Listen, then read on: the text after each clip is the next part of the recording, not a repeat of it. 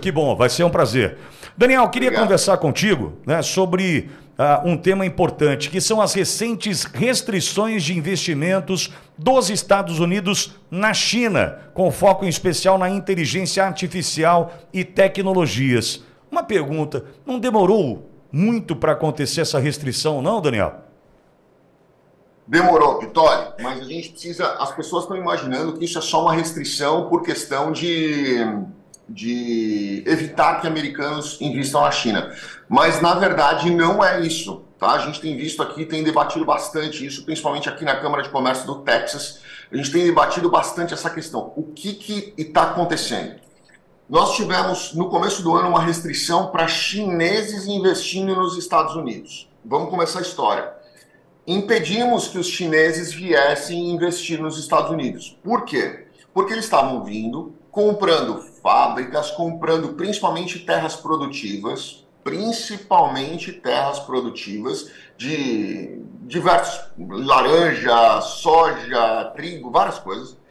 E aí eles pegavam isso e mandavam para a China. Eles não estavam colocando dentro do mercado interno, eles estavam mandando para a China. E aí o que, que acontecia? a China fazia o pagamento dessa exportação. E o que, que os chineses faziam? Eles reinvestiam esse mesmo dinheiro na China, ou seja, não ficava nos Estados Unidos. Eles estavam literalmente parasitando os Estados Unidos. O dinheiro não ficava aqui.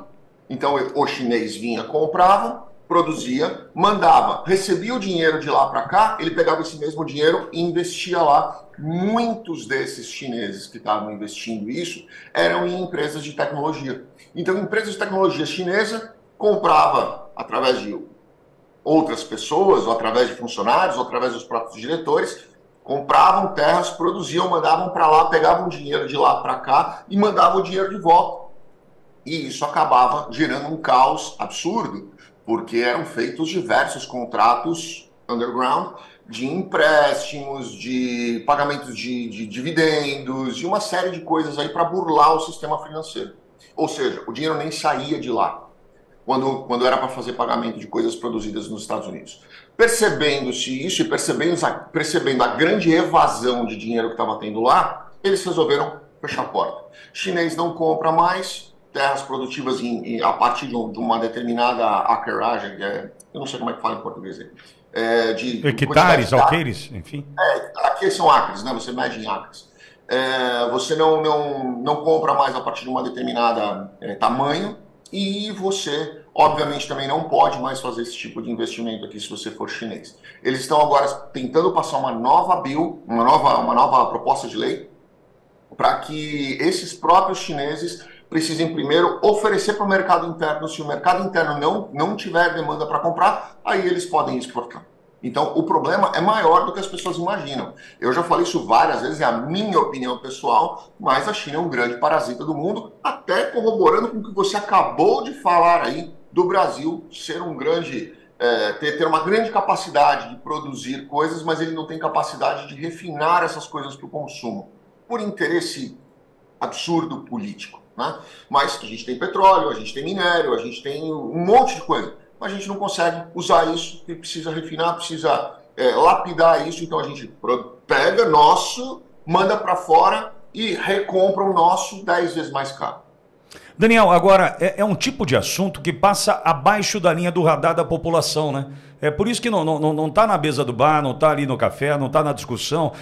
Você não vê alguém, por exemplo, discutindo que a China, aqui no Brasil, compra hoje concessionárias de energia elétrica. Nós estamos reféns nós somos reféns dos chineses, por exemplo, na distribuição de energia elétrica no Brasil, porque eles queriam dominar o assunto construção de hidrelétricas e vieram aqui e compraram concessionárias de energia. Só que isso passa muito abaixo do radar da população e é por isso que essa discussão não ganha corpo, né, Daniel? As pessoas não entendem isso, Vitório, porque infelizmente é, é a questão do, do, do da própria cultura mesmo, do próprio é, estudo. Vou dar um exemplo para você, tá? Imagina que você, Pitoli, tem uma empresa aqui nos Estados Unidos, sabe? Você, Pitoli, tem uma empresa aqui nos Estados Unidos.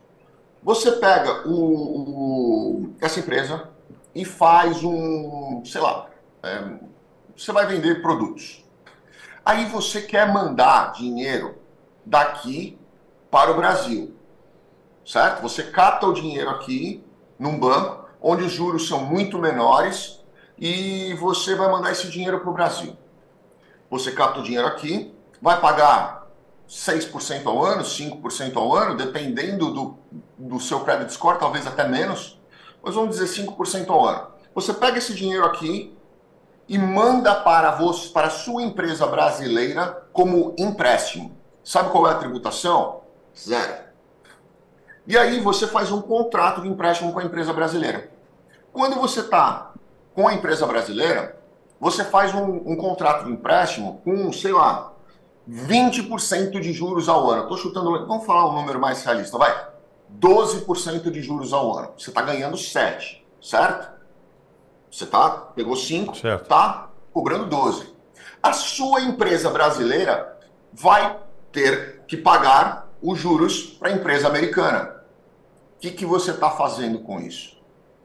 É você fazendo para você mesmo com os juros que você quiser dentro da legislação, obviamente, mas legalmente. Você está fazendo uma evasão de divisa. Você está mandando dinheiro para fora sem, sem tributação, que é o que os chineses estão fazendo. Eles estão se capitalizando nos Estados Unidos, mandando para lá, alavancando dinheiro nos Estados Unidos, mandando para lá, e na hora de fazer o pagamento de volta para cá, eles não, não fazem o pagamento. Por quê? nós mandamos o produto para lá, eu deveria receber de volta, mas eu tenho um contrato de empréstimo com a minha empresa que eu mesmo abri nos Estados Unidos para ser a produtora de laranja. Então esse dinheiro vai ficar aqui na China como pagamento de juros ou pagamento do principal. Ou seja, está tendo uma evasão de dinheiro absurda para isso. E é o que as pessoas não entendem. Muitas vezes, esses investimentos internacionais, eles são uma maquiagem de uma retirada absurda de capital, que é o parasitismo. Ele não manda o dinheiro de volta para o país, ele não devolve esse dinheiro de volta para o país. Ele produz, leva e fica tudo lá. Não tem a, remessa pelo pagamento do que foi produzido. Isso é que está sendo um grande problema na economia e é por isso que isso a gente deveria também abrir o olho para essas questões no Brasil. Agora, Daniel, voltando à questão das restrições de investimentos dos Estados Unidos na China, em especial focando em inteligência artificial e outras tecnologias, isso pode trazer algum impacto geopolítico? Não é dos Estados Unidos, não é dos Estados Unidos, Pitólio. É isso que eu estou falando para você. Não é quem está fazendo grandes investimentos nas empresas de tecnologia e. São os próprios chineses são os próprios chineses. Entendi, entendi. Eles estão usando o dinheiro da própria produção deles aqui para justificar que eles estão fazendo contratos de investimento e empréstimo lá. É que como sai dos Estados Unidos, parece-me que é um investimento americano na Não, China, né? É deles, é deles. Se você pegar os grandes valores, isso aí está no site da Casa Branca. Se você pegar os grandes valores de saída de capital e não reentrada de capital, você vai ver o nome das empresas. Se você ver onde estão essas empresas, de, for na internet, for ver o, a abertura dela no, no, Departamento de Estado, que é onde aparecem todos os dados ali de quem são os proprietários, é tudo chinês. Meu Deus. Entendeu? Não é Entendi. americano que está tá indo lá. O número de americanos que faz investimento em empresas lá é muito pequena, porque a tributação já subiu absurdamente. Por que, que não subiu a tributação para esses caras? Porque eles não são americanos, eles moram lá. Agora, Daniel, eu precisava só mudar um, um assunto uh, uh, contigo, porque ontem nós recebemos a informação do, do assassinato de um candidato à presidência do Equador. Aí, na atualização da informação, já tem um grupo chamado Los Lobos, do narcotráfico uh, do Equador, reivindicando a autoria do assassinato do candidato. Nós temos um vídeo veiculado por essa, por essa facção dizendo que financia políticos e estes que não são leais serão eliminados. A gente está vendo um, um, uma situação acontecendo aqui, América do Sul, Central, Caribe, que tem chamado a atenção. Alguns já falando da força dos cartéis mexicanos invadindo também aqui uh, o território da América do Sul. Como os Estados Unidos enxergam essa situação, Daniel? Existe vontade de confrontar isso? Existe a, a, a disposição de encarar isso de frente? Olha, aí a gente vai numa, numa outra questão aí. Eu tenho ontem até eu conversei com algumas pessoas, é, eu acho que até você está sabendo disso, porque eu pedi para avisar você aí. Sim, sim, sim. É, eu conversei com algumas pessoas e eu acho que nós estamos vivendo uma situação atípica em São Paulo, pela primeira vez em décadas. Né? O governador Tarcísio, o, o Derrite, que veio da Rota, né, onde eu, eu sou fã da Rota, falo isso várias vezes. Se a gente não tomar cuidado com a criminalidade, a criminalidade vai tomar conta. E eles se espalham. Né? Nós vimos essa questão muito parecida com, com esse presidente, com esse presidenciável né, que foi assassinado ontem.